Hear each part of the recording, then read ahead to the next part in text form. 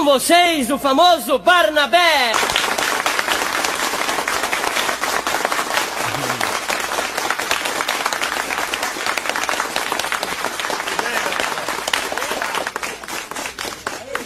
Obrigado. Logo que eu cheguei, uma mocinha me parou na portaria ali, olhou bem pra mim e falou: Nossa, isso é um pão. Eu falei: Obrigado, né?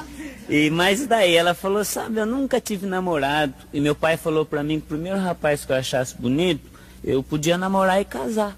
Eu falei: Vamos já falar com seu pai. Peguei na mão dela e saímos 120 a pé. Mas quando eu ia chegando na esquina, eu pensei bem, eu falei, nem conheço a moça, nem sei o que, que ela faz, como é que eu vou casando? Eu não. Hum. Parei um pouquinho, falei, escuta, o que, que você faz, hein? Ela falou, Ih, eu faço tanta coisa. ela falou, sou pintora profissional e faço bordado. Ganho 3 milhões por mês. E outra, se você casar comigo, você não vai nem precisar trabalhar mais, que daí eu vou pintar e bordar pra fora, né? Esses dias para trás mesmo eu tive aqui na vizinha cidade, aqui em, em Curitiba. E, e... Curitiba, fui trabalhar num cinema lá, o cinema capacidade para 5 mil pessoas. Cheguei, o cinema super lotado por fora. E. Eu terminei meu espetáculo, eu saí para ir pro hotel, tá no último andar, pretinha dois. E. Né? A hora que eu saio, uma mocinha olhou. né? Então, a hora que eu saio na frente do cinema, uma mocinha. mocinha olhou bem na minha cara, cutucou na outra e falou: Ih, chegou a força. Eu fiquei pensando, eu falei, olhou pra mim e falou que chegou a força porque as luzinhas estavam tudo acesas dentro do cinema. Vou, e via indo direto pro hotel. No meio do caminho vinha vindo um camarada, ele olhou bem para mim e falou, oi, seu Barnabé, chegou a força. Falei, ó o negócio aí. Tá bom não. Subi a escadaria, a hora que eu vou passando no, no salão do hotel, o porteiro olhou para mim e falou, oi, chegou a força. Eu, encabulado, eu falei, por que, que o pessoal tá olhando pra minha cara aí falando que chegou a força? Falou, não, é ditado da cidade. O senhor não repara não, mas aqui quando aparece alguma pessoa feia, assim, nós falamos que chegou a força. É. Eu falei, é, é, quer dizer que a pessoa feia fala que chegou a força. Ele falou, é. Aí, aí pro meu quarto, encontrei no corredor uma velhinha tudo encroncadinha, né? bengalinha, parecia comigo, né? Aí eu bati no ombro da velhinha e falei, daí vovó, chegou a força? Ela falou, que nada meu filho, fuzil queimou a tempo.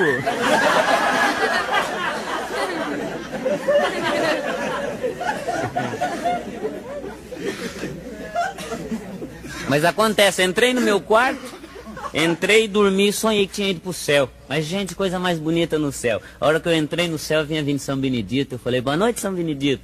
Nem olhou pra minha cara. Falei, que santo mais orgulhoso. Hum, vinha vindo Santo Antônio. Boa noite, Santo Antônio. Nem ligou. Isso bateu nas minhas costas, era São Pedro. São Pedro tão bonito, olhou para mim e falou: Você está cumprimentando errado, filho. Aqui no céu não fala boa noite, nem bom dia, nem como vai. Aqui no céu se cumprimenta diferente. É, é. Aqui no céu, você quer ver? Vinha vindo São João, São Pedro falou: Ave, João. São João falou: Ave, Pedro. Eu falei: ah, O negócio é ave. Já aprendi. Né? Aí vinha vindo São José, eu falei: Ave, Zé. Ele falou: Ave, Barnabé.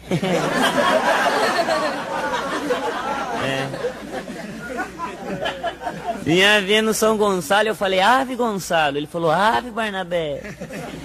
Aí a hora que vinha vindo o Adão, São Pedro mandou ficar quieto.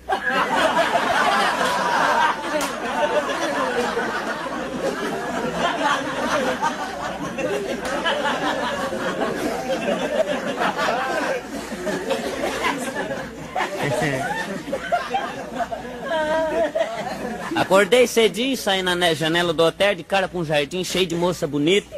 Botei o ternão, desci, a hora que eu saio na rua, passa na minha frente uma enfermeira. Gente, o corpo da enfermeira parecia um violão. A hora que eu vi a enfermeira, eu não aguentei. Ela era muito bonita. Olhei pra ela e gritei bem alto. Ei, vontade de sofrer um acidente? Só pra mim parar no hospital pra ser enfermeira cuidar de mim. Ela olhou pra mim e falou, é, o senhor vai ter que sofrer um acidente muito grande, eu sou parteiro.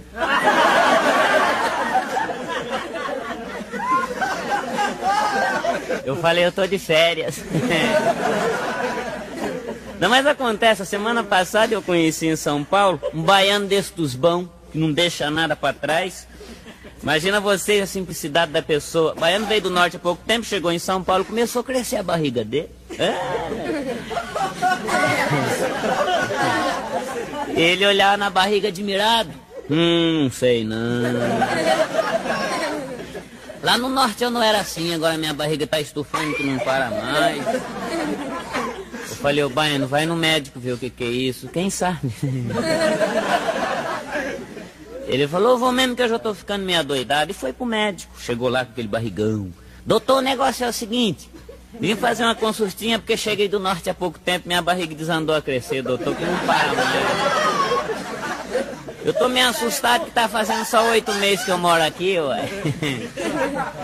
Aí o médico falou, deita aí. O baiano deitou naquela mesinha, o médico examinou, descobriu que ele tava com barriga d'água. Mas o médico, o médico para brincar com ele falou, ih, baiano, eu tenho uma notícia para te dar. o baiano falou, é, doutor, que notícia é essa? O médico falou, é, você tá esperando criança. baiano falou, tá besta, doutor, sou sorteiro.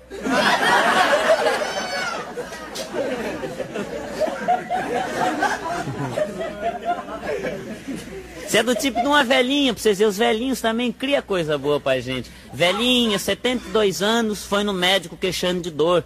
Chegou no médico, doutor, vim fazer uma consultinha que eu não posso falar número que me dá uma dor no corpo.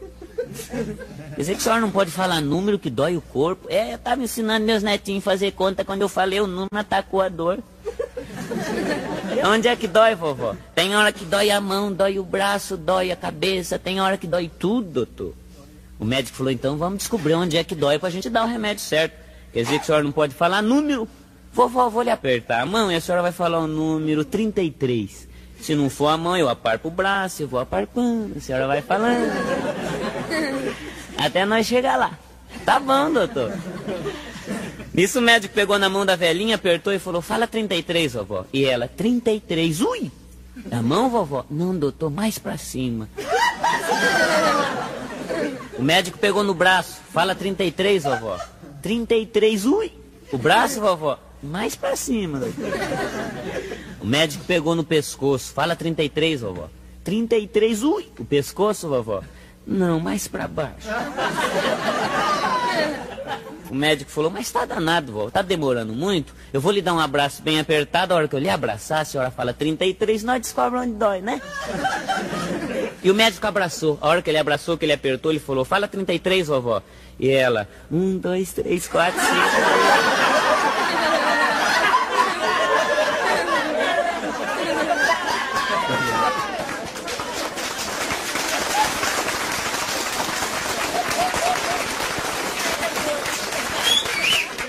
Oi? Não acontece. Meia-noite uma velhinha telefonou pra delegacia. Alô, seu delegado, tem dois ladrão no meu quarto, vem buscar um.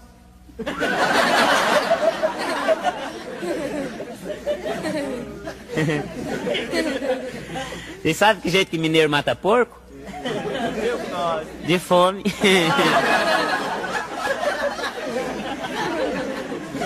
Não, quem quiser ver um mineiro correr, é só soltar um queijo de morra abaixo. É. É. Mas gente, a gente, a gente que viaja tem sempre alguma coisa para contar. Eu nesse último carnaval agora eu tive no Rio de Janeiro e até eu fui, cheguei lá meio sem dinheiro.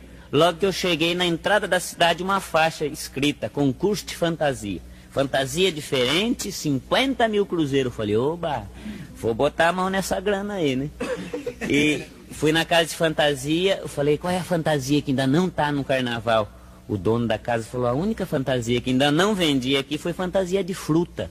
Eu falei, oba, vou fantasiar de fruta. Aí ele me levou numa sala, tinha laranja, maçã, aquelas maçãzonas, né? É, mamão. E eu fui experimentando. A única fruta que serviu para mim foi banana. Entrei dentro de um cascão de banana e saiu o bananão pra rua. É, lá no Rio, carnaval na rua, escola de samba, banda de música, o bananão tá lá. Essa hora que eu vi numa esquina, encontrei com oito fantasiados de macaco, ó.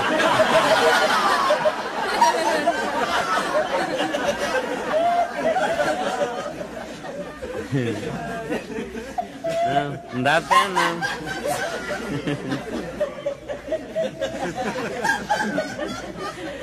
Não, mas eu tô correndo. Bom, agora eu vou falar um pouco da minha família, porque minha família, a família é muito grande, então a gente sempre em cada, em cada espetáculo tem que falar um pouquinho, senão, né, eles ficam bravos quando a gente chega em caixa, casa, em caixa, ó, eles puxam a orelha da gente. Eu vou começar a falar das minhas irmãs, que as minhas irmãs até no nome já diz que são trabalhadeiros, porque lá em casa todo mundo trabalha. Né? As minhas irmãs eu tenho uma que chama Dorme Linda. A outra dorme bela. Mas é dorme fora.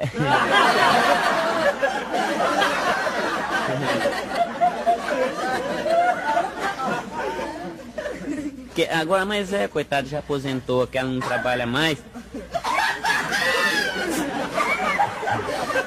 É, agora ela, ela só pensa em pintar unha, fazer permanente no cabelo. Você precisa de ver. Tem dia que ela sai na rua, volta com o cabelo tudo cheio de carrapicho.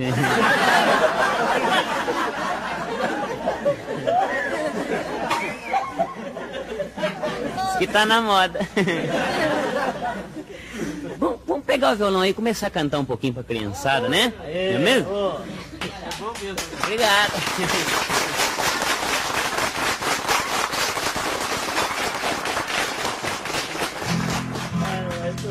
Essa música aqui eu queria oferecer para todas as crianças, criançada do Brasil, essa criançada que gosta bastante da gente. E eu fiz especialmente para as crianças. Porque o nome da música é Três Numa. Sabe o que é Três Numa? Eu juntei três músicas e fiz uma só. Tirei um pedacinho de cada uma. E ficou muito bonita, até ganhei um troféu com essa melodia já, antes que saiu o disco. E quem me deu o troféu foi meu irmão mesmo. Então eu vou cantar três numa para vocês. Eu já eu juntei duas músicas do Mauro Celso e uma do Genival Lacerda. Eu começo cantando Farofafá. E depois eu pulo para outra e termino com outra. Quer ver que bonitinha? Presta atenção na minha voz, isso é muito melodiosa. Comprei um quilo de farinha pra fazer bilu teteia na boutique.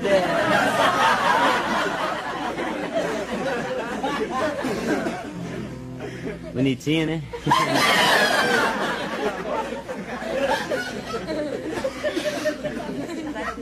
É, ué. Garotinho puxou, garotinho puxou o paletó do pai dele e falou, pai, por que, que o senhor casou com a mamãe? Ah, por tua causa. o pessoal tem a mania de falar com o rapaz depois que passa dos 30 não casa mais, né? Tudo mentira. Hum. Tem um irmão meu que casou com 40.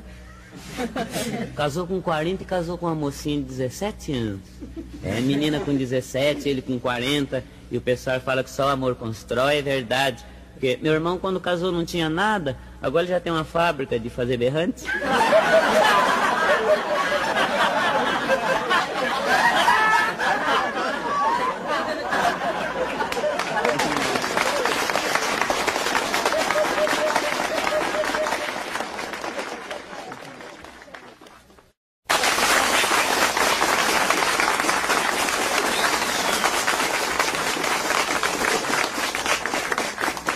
Obrigado. Esse dia pra trás eu estive aqui em Franco da Rocha e cheguei lá e fui fazer umas visitas lá. E ó, turma de gente debaixo de um pé de abacate. Eu cheguei e falei, o que está acontecendo? Eles falaram, não, aquele homem subiu lá em cima, ele, ele é louco. Ele cisma que ele é um abacate. Eu falei, e os senhores, o que estão fazendo aí embaixo? Estamos esperando ele madurar.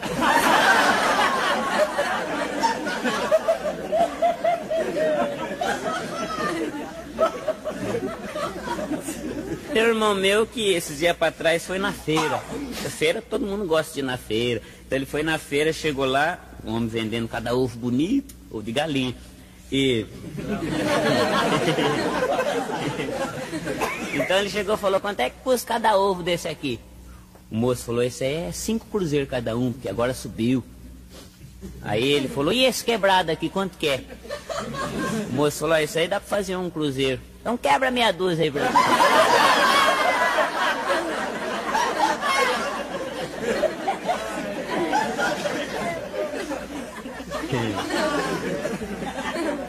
Não é, meu irmão, você precisa de ver, ele gosta, ele gosta, de vez em quando ele, ele toma algum traguinho, diz que, é, diz que, diz que bebe para esquecer. Esquece até de pagar o coitado do homem do quarto. Esses dias para trás ele num fogo na rua, e sai pra rua. O negócio é tomar mais uma e se apagar. Entrou no bar, o dono do bar falou, escuta, me dá um metro de pinga. O dono do bar, muito vivo, pegou o metro, mediu no balcão e despejou o litro de pinga. Ele falou, agora embrulha que eu vou beber lá fora. o dono do bar, mais alguma coisa? O senhor tem vela aí? Ah, vela tem sim, senhor. Então, dá mais uma, caipirinha. moço foi lá, pegou a caipirinha, fez, botou no copo, ele bebeu. Mais alguma coisa? O senhor tem fósforo de riscar? Ah, tem sim. Então dá mais uma caipirinha. Bebeu a segunda, o dono do bar já enfesado falou, mais alguma coisa? Não, pode trazer a vela e o fósforo. O moço foi lá, pegou a vela, a caixa de fósforo, entregou para ele. Por gentileza, acende a vela aí pro Dega. O dono do bar acendeu a vela, ele com a vela acesa foi saindo de fininho. O dono do bar falou, o senhor não vai pagar? Não, vai acesa mesmo.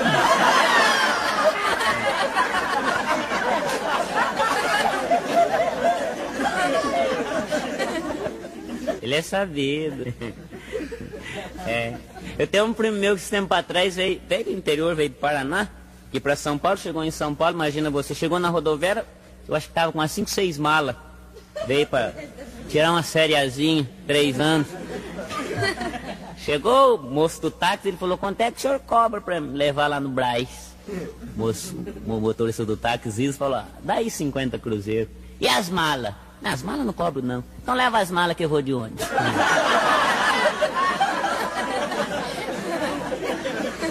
Aí ele saiu, dar uma paqueiradinha na Avenida São João, Avenida Rio Branco, né? É, terno amarelo, bota, chapéu. E...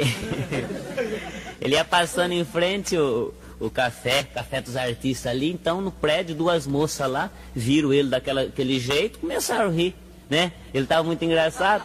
E as moças dando risada, ele olhou muito calmo. Aí ele parou em frente ao prédio, olhou para cima e falou, ô dona, aqui que é o quartel? Elas falaram, não é não, caipira. Por quê? Porque eu tô vendo dois canhão aí.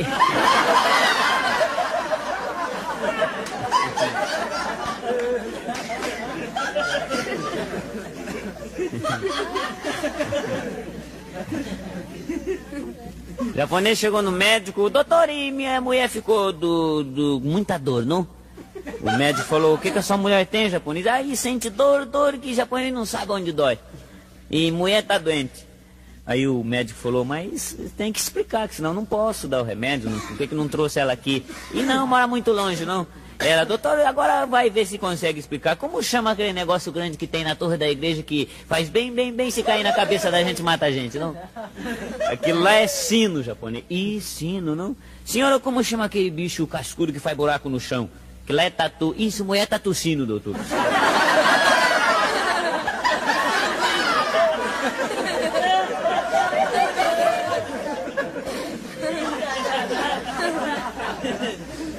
Esse mesmo japonês foi registrar o filho dele. Chegou no cartório e, senhor, eu registrar a criança, não quer pôr nome brasileiro. Nome brasileiro, que nome japonês? Ah, não sabe nenhum, não. Aí o moço falou, ah, eu sugiro, Roberto. Isso, sugiro, bonito, não? Eu, eu fui com a minha namorada num circo. Precisam de ver, gente. Então a gente chegou lá, tava passando um, um drama lá, menina virou. Mas estava tão ruim. Não vou falar o nome do circo, não. Eu sei que eu falei para ela, espera aí que eu vou aprontar uma. Vou ensinar esse pessoal a trabalhar na base da indireta. Aí deixei ela sentada na cadeira, fui lá fora, arrumei uma espiga de milho pipoqueiro, né? Arrumei a espiga de mim, entrei. Ela falou, por que isso? Eu falei, porque eu vou chamar eles de burro sem, sem eles saber. Quando eles cismar, já estão vendo que eles não trabalham nada. E a hora que terminou o espetáculo lá, eu deixei a espiga de mim em cima da cadeira e falei, vamos embora. A hora que nós tava na esquina, o menininho do circo puxou meu paletó e falou, ai, o senhor esqueceu o seu lanche lá.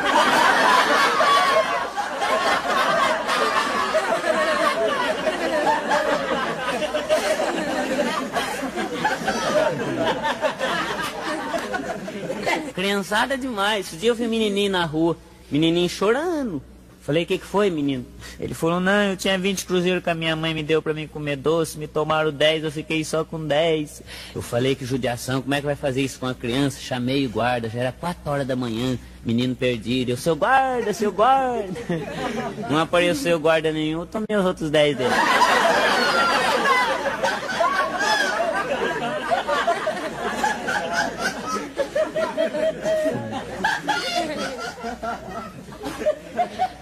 Do menininho com baita de um pão na mão chorando, eu passei perto dele, eu não tinha almoçado ainda. olhei, olhei, eu falei, ô, eu falei, ô bem, vai comer tudo isso aí sozinho? Ele falou, não, com mortandela. e, e, e, outra vez, eu, eu, trabalhava num bazar, eu era danado de conquistador. Então, eu entrar pro cano, eu prei mão. Uma vez chegou uma moça muito bonita com uma veinha. Chegou, entrou no bazar e eu já fui logo atender, só as horas. A moça falou, quanto é que custa um metro daquela fita? Eu falei, um beijo cada metro. Ela falou, então o senhor embrulha 15 metros pra mim. Eu falei, hoje eu vou tomar o porre, né? Cortei depressa, embrulhei, peguei pra moça, ela falou, quem paga é a vovó.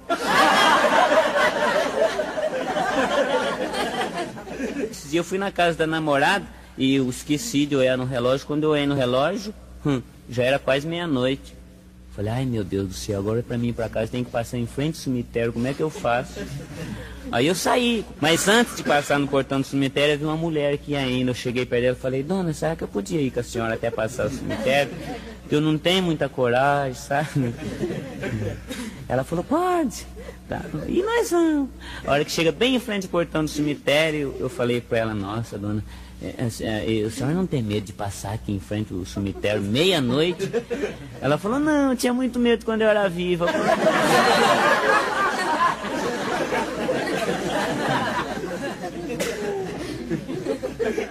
Uma vez teve um baile lá na nossa casa, baile de barraca, sanfonona, né? É, até que foi tocar foi Zevete. é, sanfona lá, é aquele baile, e cada um tinha mais de, de 300 moças, porque quando a gente fazia baile assim, convidava todo mundo lá da redondeza, tinha mais de 300 moças. O rapaz tinha uns 1.500. E gente, cada um com uma dançando, de vez em quando dando umas bicotas, né? né? Um cravinho, né? E as bicotas e eu lá num canto. Não sei, não sobrou nada pra gente. E eu tava mesmo com vontade de dar uma bicota, né? Eu nunca tinha beijado. Aí eu ia no lampião, lampião quase apagando. Aí eu fui lá fora depressa, peguei uma pedra e taquei no lampião. Ficou aquela escuridão, falei, agora. Passei a mão numa saída lá e dei um beijão. Depois eu pensei, eu falei, mas a hora que acender, quis arrumar o lampião, que ficar tudo clarinho, não sei quem que eu beijei, não vai adiantar nada. Aí eu muito vivo abaixei e dei um nó cego na saia dela. Falei, a hora que acender a luz, eu sei quem que eu beijei, quero ver se é bonito. Arrumaram o lampião, ficou tudo clarinho, eu saí procurando moça com nó na saia. Dá licença. Dá licença. E que ia aparecer nada, passou um pouquinho, chegou meu irmãozinho. Barnabé, a avó tá louca, não sabe quem que deu um nó na saia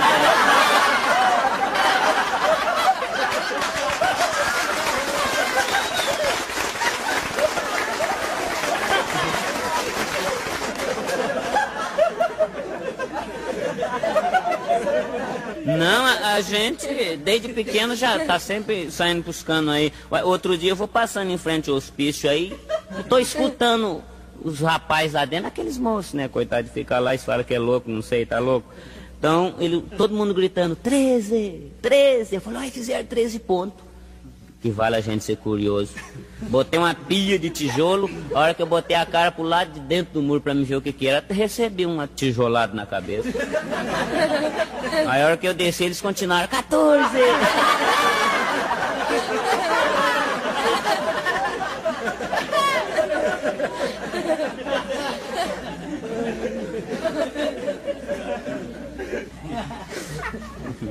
Outro dia eu tava viajando de trem e parei numa estação aí de Minas e vi um senhor já de idade dando leite pra um gatinho numa tigelinha.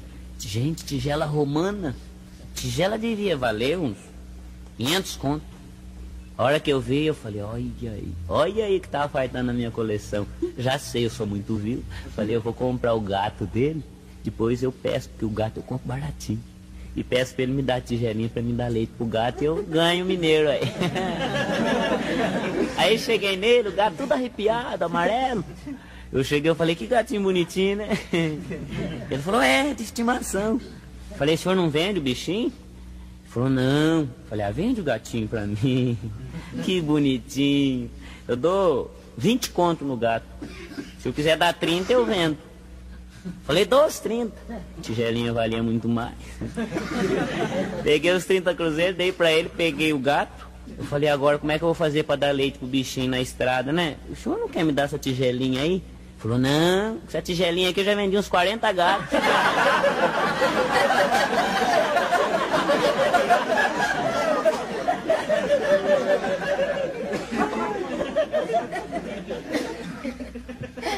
Não é, ué. Não presta fazer marvadeza pra ninguém. Dizia pra trás, eu. Eu tenho um tio meu que brigou com o prefeito da cidade lá e pra fazer marvadeza ele foi num lugar encher um caminhão de buraco. É, cada buracão grande. Pra jogar na cidade. Imagina encher a cidade de buraco, precisar buscar buraco em outro lugar.